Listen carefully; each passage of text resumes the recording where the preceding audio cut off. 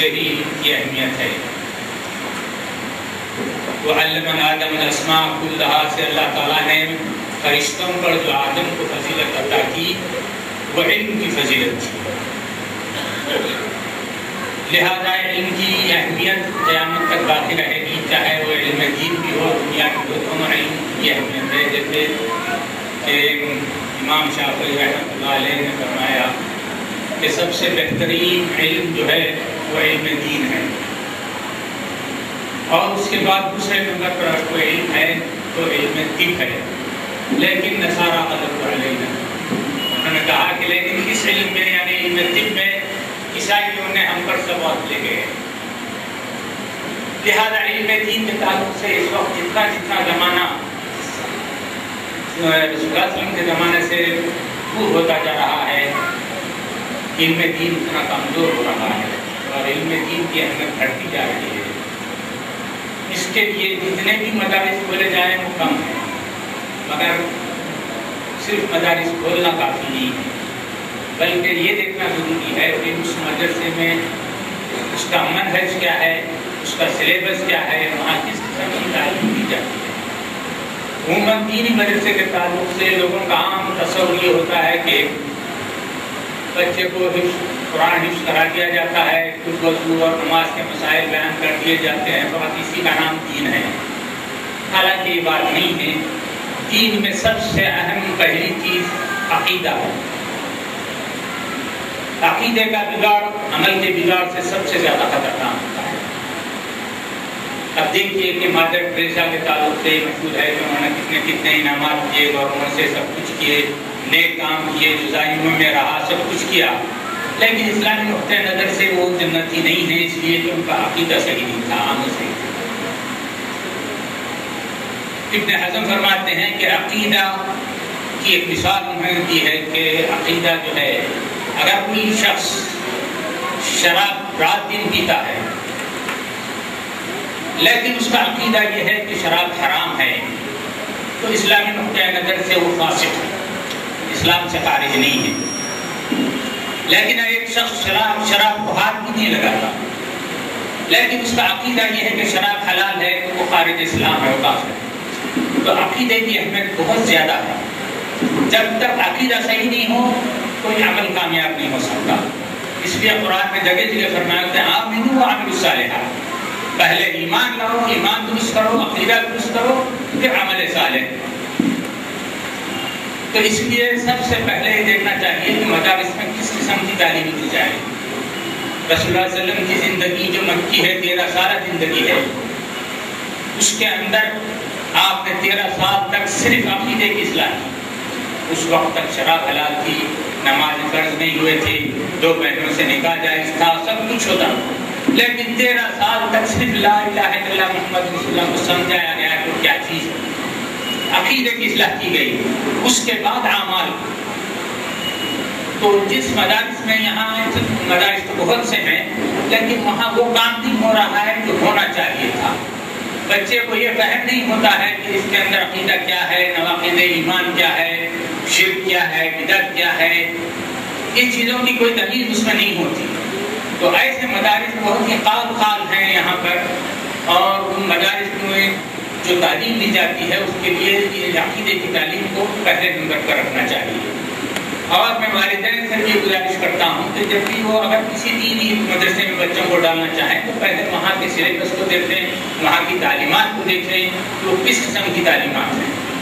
वरना ये जो है दुधारी तलवार है, इससे फ़ायदा भी हो सकता है, नुकसान भी हो सकता है। समझ गए? तो हमारा जो दीनी माहौल है, इस वक्त हैदराबाद का क्या पूरे हिंदुस्तान का कि हम जब अपने बच्चों पे निगाह डालते हैं तो जो जहीन और तेज बच्चे होते हैं, उनको तो मिशनरी के हवाले किया जाता है मिशनरी स्कूल में रहा। और जो बच्चा जहनी एतबार से कमज़ोर होता है, वो स्कूल कबूल नहीं करते या माजूर होता है तो मुझे चलो उसको दीनी स्कूल में डाल पढ़ लिखना नमाज़ वगैरह कर लेगा। तो हम जो नाकारा बच्चे होते हैं, उनको दीन स्कूल के हवाले करते हैं।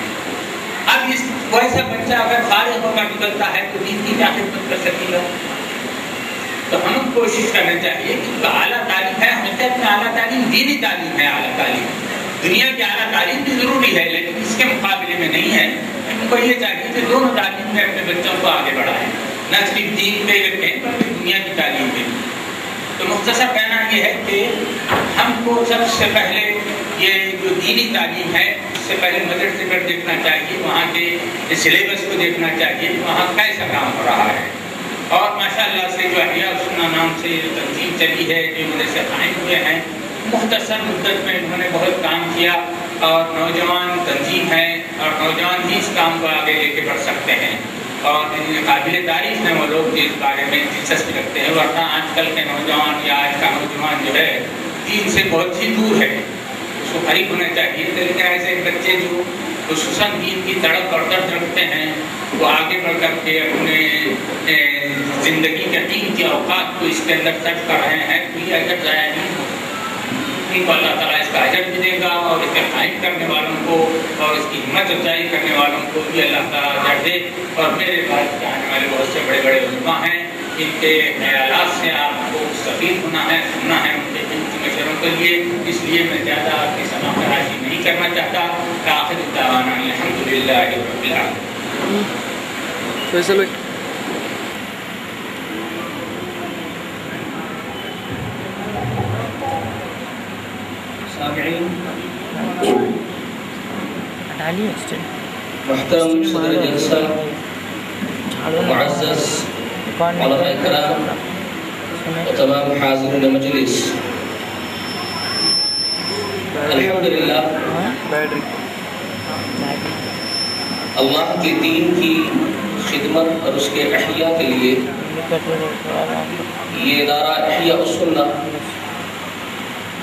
पिछले सात आठ बरस से शहर में अलहमदिल्ला खिदमत अंजाम दे रहा है।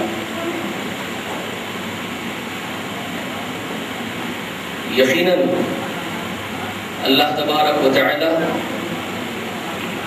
इखलास के साथ उसके दीन की खिदमत करने वालों के अजर को फरामोश नहीं फरमाएँगे।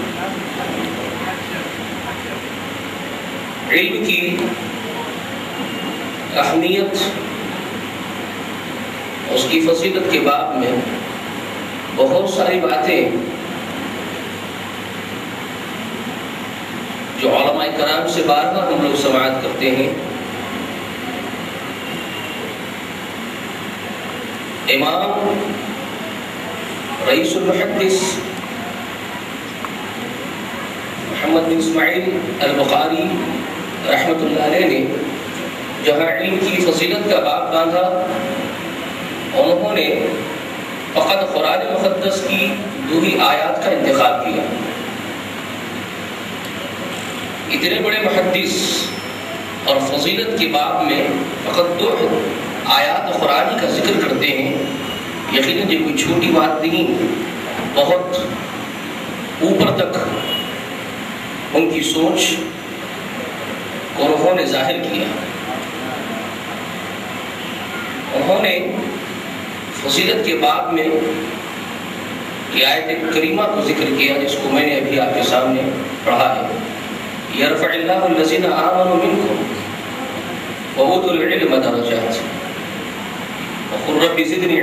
दूसरी आयत मुबारक उन्होंने ज़िक्र की। गौर करने की बात यह है कि बाप फजीलत इल्म का था, और उन्होंने जो आयत लाई है उसमें ज़िक्र पहले ईमान का है। उस आयत मुबारका में अल्लाह ताला ने इल्म पर ईमान को फौकियत दी। चुनाचे इमाम बुखारी रहमत अपने इस बयान में यह वाज करना चाहते थे यकीन इल्म की फजीलत ईमान के बगैर नहीं बहुत गौर करने की बात है। जब तक ईमान नहीं होगा और ईमान मुस्तहकम और मतलूब नहीं होगा तो इल्म बावजूद अपनी अहमियत के वो फैज और वो फ़ायदा नहीं दे सकता है, जो उससे फ़ायदा उठाने की ज़रूरत है। मख्तर मेरे से पहले अहमद जहरानी ने ज़िक्र किया अकीदे का। देखें इल्म दुनिया में कम नहीं है, दुनियावी एतबार से अगर हम देखते हैं। चोटी के उलूम मौजूद, साइंस इल्म है। आप देखते हैं तिब इल्म है। आप देखते हैं, हर एतबार से हर शोबे में इल्म के माहरीन मौजूद हैं। लेकिन क्या ये इल्म जन्नत का मुस्ताक बनाएगा? यकीन नहीं। जब तक ईमान न हो, वो इल्म फ़ायदा नहीं पहुँचाता है। इमाम बुखारी रहमत ने इसी को वाजे किया था। फजीलत इल्म के बाद में।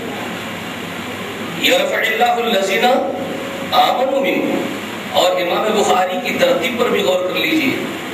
उन्होंने अपनी किताब सही बुखारी के अंदर, सबसे पहला जो बाब उन्होंने बांधा है, वो किताबुल ईमान और किताबुल ईमान के बाद उन्होंने किताबुल इल्म को नकल किया है। ज़ाहिर बात है, ईमान को फोकियत है। ईमान जो अल्लाह को मतलूब है मुस्तकम हो और इस बात में हमें गौर करने की ज़रूरत यह है कि ईमान की बाबत और अकीदे की बाबत भी आजकल एक ऐसा माहौल चला है कि दूसरे अंदाज में अगर कहा जाए तो शायद बुरा लगेगा, लेकिन इल्म की खिदमत के नाम पर या इल्म को फैलाने के नाम पर एक फ़ैशन सा माहौल हो गया।